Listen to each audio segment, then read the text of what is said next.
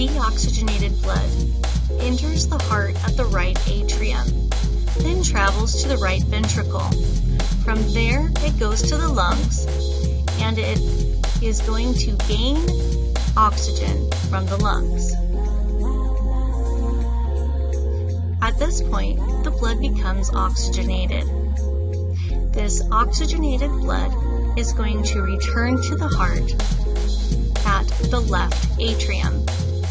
From there, the blood travels to the left ventricle and then finally to the body. As the blood travels around the body, it delivers oxygen to the cells. Then it becomes deoxygenated. At this point, the deoxygenated blood will return to the heart